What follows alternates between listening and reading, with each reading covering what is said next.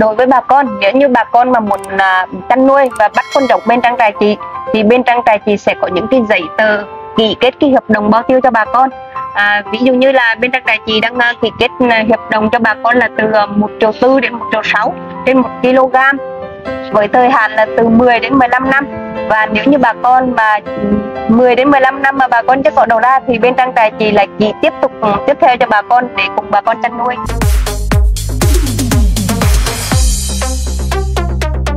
Chào mừng quý bà con và các bạn đã quay trở lại với kênh làm giàu cùng chuyên gia. Hôm nay thì tôi đang có mặt tại Trảng Bom, Đồng Nai và ghé thăm trại chăn nuôi treo treo rất là lớn của chị Ngân. Và như bà con cũng đã biết thì chị Ngân là người đã có rất là nhiều năm kinh nghiệm trong chăn nuôi và phát triển con treo treo này.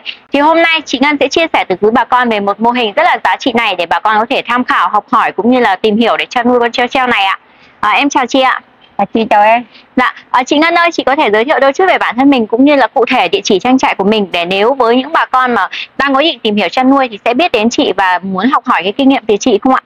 À, vâng, à, chị chào em và xin chào ờ, kênh làm giàu cùng chuyên gia. Tôi xin tự giới thiệu, tôi là Ngân, hiện là chủ trang trại chăn nuôi giống động vật hoang dã ở địa chỉ tại ấp Trà Cố, xã Bình Minh, huyện Trảng Bom, tỉnh Đồng Nai.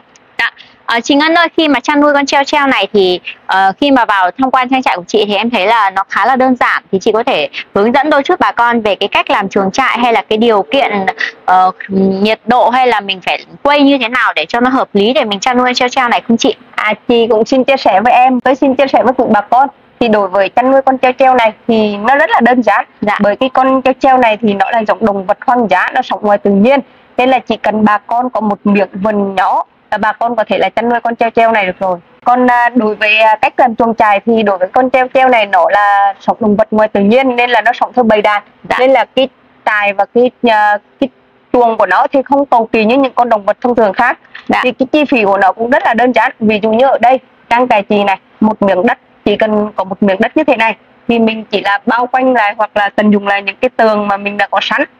Hoặc là mình cần không có tường thì mình có thể là quay lại cái uh, bê rô hoặc là cái uh, tôn um, thưng lên tầm một mét rưỡi làm sao mà để cho kín nó đừng uh, thất thoát con giống của bà con là được dạ. uh, còn uh, đối với trong trại thì mình cũng phải làm một cái miệng uh, như uh, 5 đến 6 mét uh, cái uh, miệng tôn như thế này dạ. để khi mà trời mưa gió thì mình để uh, rau củ um, thức ăn cho nó gọi là nó bị ướt hoặc là bị nắng quá nó hư để đảm bảo cái nguồn rau cho con treo treo. À, à. còn đối với chuồng thì như em nhìn thấy ở đây bên trang trại chỉ là uh, làm những cái ô viên gạch này. Viên gạch giống như là mình có thể là ghép uh, viên gạch lại với nhau hoặc là những um, tận dụng lại những cái thùng xốp. Thì uh, hoặc là những cái uh, hộp gỗ. Uh, là mình cũng thể làm chuồng cho con treo treo này được rồi. Bởi vì uh, giống như thùng xốp thì mình có thể tận dụng lại và mình cắt cái ô cửa uh, 15 đến 20 cm để Đã. cho nó vào à, cho nó đi ra đi vào thì bản thân con treo treo này nó sẽ vào đấy nó cư ngụ và nó sinh sản ở trong đấy luôn dạ Um, vậy thì chị Ngân ơi, vậy thì với một cái không gian như thế này thì mình đã có thể chăn được rất là nhiều con treo treo này rồi. Vậy thì như hàng ngày thì chị sẽ cho nó ăn những cái thức ăn là gì vậy ạ?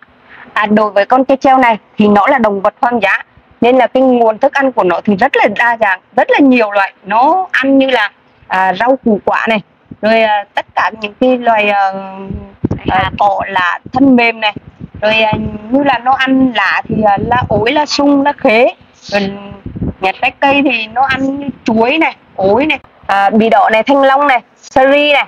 Rồi à, nó ăn nói chung là rất là nhiều. Con này nó ăn là hầu như những cái tại gì nó cũng ăn được Dạ, à, có nghĩa là cái nguồn thức ăn của nó rất là đa dạng và phong phú. Vậy thì như hàng ngày thì như trang trại chị chăn nuôi thì mình chăn nuôi theo cái chế độ ăn như thế nào và cái khẩu phần ăn hàng ngày nó ăn thì chị cho nó ăn như thế nào? Một con nó ăn có nhiều không chị? à để chị chia sẻ với em cũng như là bà con thì nói về cái nguồn thức ăn thì à, thức ăn như ở trang trại chị thì sẽ chia ra ba khu dạ. để chăn nuôi một à, khu là chăn nuôi sinh sản và một khu là chăn nuôi thương phẩm và một khu là mình sẽ tách những cái con con để rời mẹ ra để bắt đầu à, mình cho ăn tại nếu mà mình nhốt chung thì là những cái con này nó sẽ là những con mẹ hoặc là những cái con thương phẩm thì mình sẽ cho ăn nhiều hơn dạ. nên là mình phải nhốt riêng còn dạ. cái con mẹ con sinh sản mà nếu mà mình để chung với con con thì nó sẽ là nó khỏe hơn nó con con đang ăn đang yếu hơn dạ. thì con mẹ nó sẽ ăn hết phần của con con thì con con nó sẽ yếu đi còn con mẹ nó lại mập quá lại uh, nó lại đẻ kém đi dạ. nên là như vậy nhà chị sẽ tách riêng như vậy thì để uh, dễ chăn nuôi thì nếu con sinh sản thì à, nó ăn như là một con bữa sáng thì mình chỉ cắt một trái ối thôi hoặc là um, một trái chuối hoặc là một nắm rau là mình cho ăn như một vậy. con đúng không ạ? Đúng là một con. Dạ ờ, còn tức là một ngày mình chỉ cho ăn một lần trong ngày thôi chị đúng không chị? À ừ, cái con treo treo này thì bữa sáng mình có thể là cho ăn trái ối và bữa chiều mình đổi rau hoặc Dạ. là lá. Nhưng Dạ. nó thì ăn được tất cả các cái loại lá Dạ. hoặc là những trong tài chị như là cỏ nhiều thì nó sẽ ăn những cái uh, lá Cái thân mềm đúng không ạ? có Dạ có nghĩa là một ngày mình sẽ cho ăn hai bữa và cái khẩu phần ăn của nó cũng rất ít. Vậy thì như chị có chia sẻ là mình sẽ phân làm ba khu thì à, em sẽ hiểu được là những cái con mà non nhỏ hơn thì mình sẽ cho như ăn những cái loại cây cỏ mềm, hoa quả mềm. Vậy thì còn những cái con thương phẩm thì chị chăn nuôi theo cái chế độ như thế nào chị? À, đối với cái con à, thương phẩm thì mình sẽ cho ăn gấp đôi gấp ba bởi à, đến một năm là mình có thể là xuất chuồng rồi Dạ có nghĩa là mình sẽ cho nó ăn à, nhiều lên cái cũng cái thức ăn như thế và mình nói không với công nghiệp đúng không ạ? đúng rồi bởi vì bản thân con này là ở ngoài tự nhiên nên là không có à, à, cám hay là phải là mua mua những cái à, thực phẩm gì hết Dạ, à, tức là mình sẽ cho nó ăn thuần tự nhiên thôi để cho nó Đúng giữ rồi. lại cái chất giá trị đặc sản của nó đúng không ạ? Dạ, vậy thì chị Ngân ơi khi mà chị chăn nuôi cái con treo treo này thì trong suốt quá trình qua chị chăn nuôi thì chị thấy là nó có dịch bệnh gì không ạ? à đối với con treo treo này thì để nói dịch bệnh thì chắc chắn là con gì cũng có. Nhưng mà đối với con con động vật thông thường thì mình phải là lo để là như là thuốc để tiêm chích ờ, hoặc là ngừa. Còn đối với con treo treo này thì bản thân hẳn là bản thân của con treo treo nó sẽ ăn những cái ờ, uh, chuối xanh này à, rồi ờ, những cái lá sung này lá khế này uh, lá ối này. Cái ối là những cái vị chát đấy cũng là như là thuốc để chữa bệnh đường ruột cho nó nên là cả đời con treo treo này không hề có bệnh tật gì em ạ. Dạ, có nghĩa là nói về bệnh thì nó sẽ có nhưng mà à, nó sẽ ăn được những cái thức ăn như thể là chuối xanh này, ổi xanh này hay là những cái lá ổi, lá khế thì như thế nó sẽ tự điều tiết được cái đường ruột của nó và mình cũng cần không cần phải lo lắng về dịch bệnh tràn lan như cái con vật nuôi thông thường đúng không ạ? à, đúng rồi Dạ. em À, chị Ngân ơi, như em được biết thì cho đến thời điểm hiện tại thì chị Ngân cũng đã cung cấp con giống và hỗ trợ chăn nuôi cho rất nhiều bà con rồi thì không biết là con giống ở trang trại mình thì chị cung cấp ở những cái lứa tuổi nào và giá giống là bao nhiêu vậy chị? À, như à, chị chia sẻ với em cũng như là bà con thì bên trang trại chị thì đã cung cấp rất là nhiều con giống cho bà con về chăn nuôi. Thì à, đối với trang trại chị à, đều có từng lứa tuổi à, và những cái lứa tuổi đã đều được sàng lọc ra và những những con nào khỏe mạnh thì bên trang trại chị sẽ chăn nuôi sinh sản. Thì à, nếu như bà con muốn bắt tay vào chăn nuôi thì bà con à, chị cũng mời bà con đến trang trại để tham quan à, mô hình con giống và Dạ. bên trang trại chị thì đều có lứa tuổi như là 3 tháng tuổi, 5 6 tháng tuổi và à, lứa hậu bị và bố mẹ đã sinh sản thuần thục. Dạ, à, vậy thì giá của từng lứa tuổi thì nó có chênh lệch nhau nhiều không chị? À, giá từng lứa tuổi thì à, à, đang dao động từ à, 5 triệu cho đến 12 triệu trên một cặp à, một đực một cái tùy theo từng lứa tuổi. Dạ, có nghĩa là từ 5 triệu đồng trở lên thôi là bà con có đã, đã có thể chăn nuôi con treo treo này rồi đúng không ạ? Dạ, ờ, chị ơi vậy thì như thể là mình bỏ ra một cái số vốn vài triệu đồng như thế để chăn nuôi con treo treo này thì không biết là cái hiệu quả kinh tế từ con treo treo này nó mang lại cho mình có cao không ạ? À, để mà nói về cái hiệu quả kinh tế, ví dụ như là trang trại chị đang nuôi là mấy trăm con, nhưng mà đây chị chỉ nói một con thôi, là một cái đầu mẹ sinh sản. Một năm nó cũng sinh sản được hai lứa, một lứa của nó từ 2 đến 4 con, thì cũng có con là nó đẻ à, ba, bốn con. Ừ, thì mình chỉ lấy là một năm như vậy à, và mình lấy hai lứa thôi. Thì cái trung bình của một năm của con à, mẹ sinh sản, nó sẽ mang về cái thu nhập cho gia đình từ 19 đến 20 triệu trên trên một đầu mẹ sinh sản. Dạ có nghĩa là uh, tuy là bỏ ra cái đồng vốn so với những cái giống vật nuôi khác thì chắc chắn là bà con sẽ nghĩ rằng nó khá là cao vì là đây là một cái con vật nó khá là nhỏ bé nhưng vì cái chất lượng thịt của nó rất là thơm ngon và nếu như bà con mà đã đi tìm hiểu thực tế tại thị trường thì sẽ biết đến là cái con treo treo này ngoài thị trường cái uh, giá trị của nó đang lên đến gần 2 triệu đồng trên một kg cơ chính vì thế nên là chăn nuôi treo treo này đang là một cơ hội rất là lớn cho bà con mình phát triển cũng như là cái hiệu quả kinh tế mà nó mang lại cho mình là rất cao đúng không ạ? Dạ. À, Ờ, vậy thì chị Ngân ơi khi mà bắt tay vào chăn nuôi con treo treo này đặc biệt là bà con là người mới chưa có nhiều kinh nghiệm thì bà con cần lưu ý những điều gì vậy chị?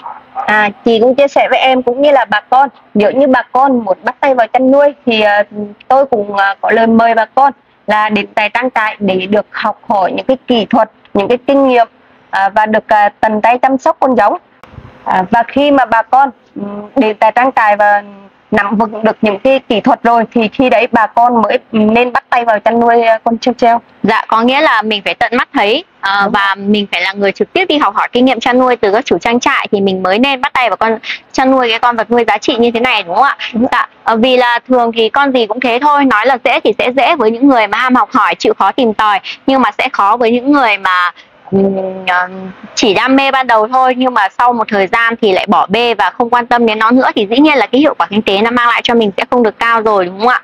À, dạ. Dạ. À, vậy chị Ngân ơi trong chăn nuôi thì bà con bình thường thì đang rất là lo lắng về vấn đề là đầu ra thì không biết là con treo treo này thì một cái con vật nuôi nhỏ bé nhưng mà lại giá trị rất là đắt đỏ như thế này thì không biết là khi mà chăn nuôi ra thì đầu ra nó ở đâu vậy chị? À, đối, đối với bà con, nếu như bà con mà muốn uh, chăn nuôi và bắt con giống bên trang trại chị thì bên trang trại chị sẽ có những cái giấy tờ ký kết cái hợp đồng bao tiêu cho bà con.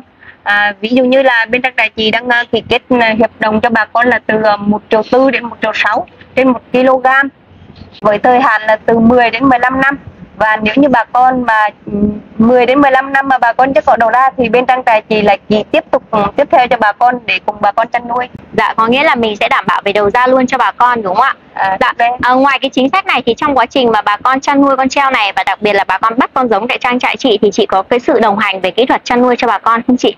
À chị à, cũng chia sẻ với em cũng như là chia sẻ với bà con.